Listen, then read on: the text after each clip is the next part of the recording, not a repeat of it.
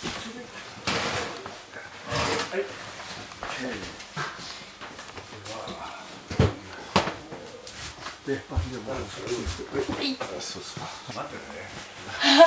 い、秀吉。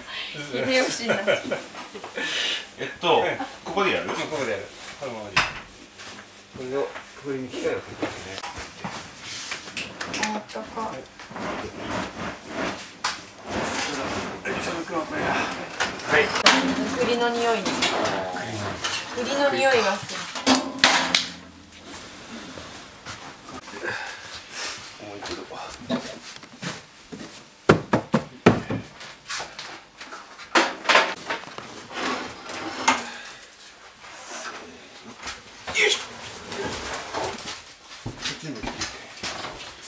っちに入れちゃううん、そう、とりあえずうん、とりあえず。はい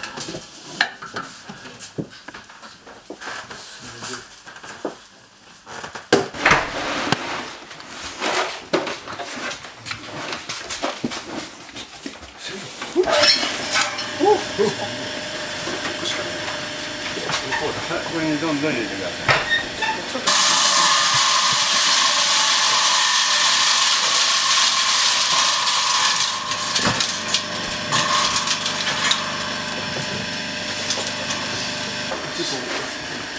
あ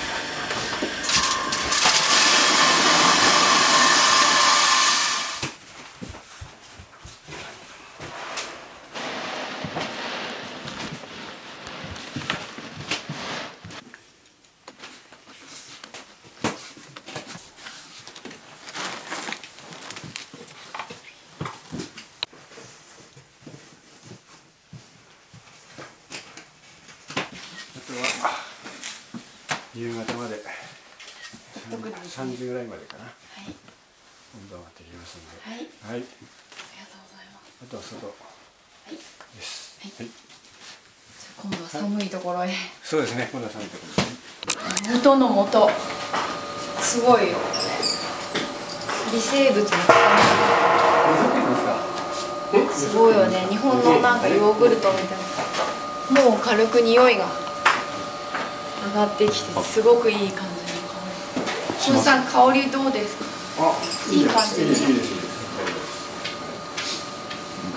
これはどんな状況状状態なんですか？今もう元すぐまで出来上がって次の段階を待ってくださいはい、うん。じゃあこれはい。はい。ちょっと問題で大丈夫ですか？大丈夫です。大丈夫はい。これこぼしたら元々もめっちゃいい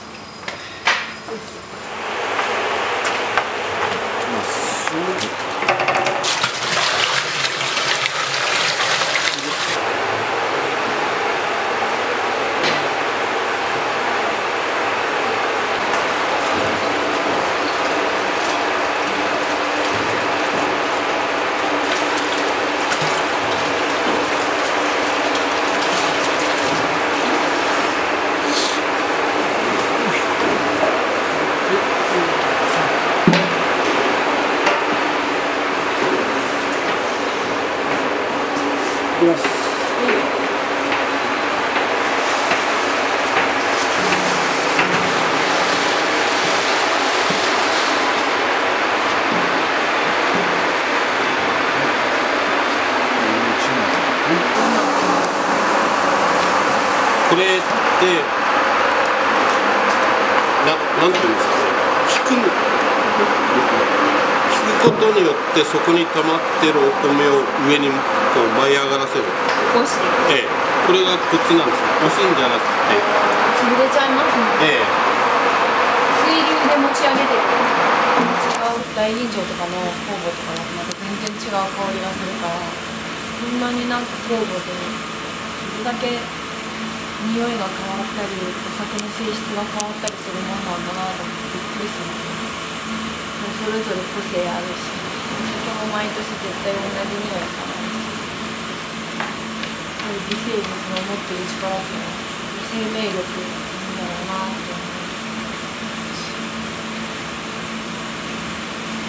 順調に育ってくれることを祈ってぶれないところに。